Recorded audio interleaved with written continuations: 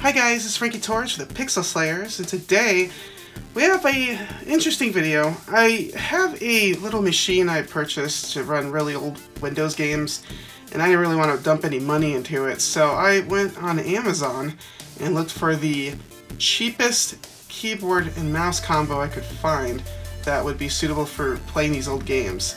So, here we are. We have the Verbatim Slimline corded USB keyboard and mouse. It's very fancy. It also costs a mere dollars. Is this decent enough to use? We'll find out. Let's just unbox it. We're not going to do a full test, but I'm just going to give you my first impressions on it. This is the cheapest keyboard I could find on the internet. Keyboard and mouse keyboard, I mean. So, quick unboxing. We have this beautiful packaging, uh, cardboard. Look at that. Real beautiful cardboard there. And we have a smaller than expected mouse. Kind of looks like a little um, laptop mouse, to be honest with you, except not wireless. Uh, very thin cables. Um, pretty decent length though. Clicky. Pretty comfortable actually, given its small size, so it's actually not a bad mouse. I mean, normally I would pay $8 just for this, maybe a little nicer one, but that's not bad. Um, considering that it's technically like $4. Alright, so here's the keyboard. It's actually a bit nicer than the mouse in my opinion. It's not a bad keyboard. Let me just set it down. No mechanical key feel at all, but it's actually not bad.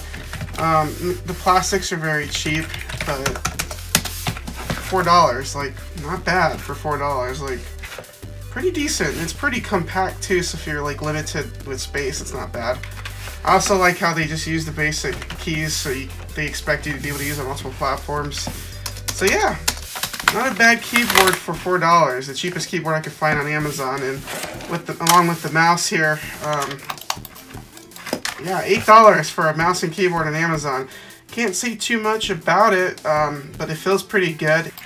A little smaller, if you have small hands, it'll be right at home. Otherwise, uh, it might be a little cramped for you, but $4. And then the keyboard has these risers in the back. You know what's amazing though? No flex. I mean, it has flex, okay, I lie. There's flex, but I was expecting it to like be bending and stuff, so that's not too bad. Um, yeah, full keys, nice mouse. Once again, $8. So, cheapest keyboard and mouse on Amazon, probably the internet. I so far recommend it. So yeah, um, thanks for watching this video, and uh, yeah, if you need a really cheap keyboard and mouse uh, to play old games like me, this is might be an option, maybe. thanks for watching. Bye.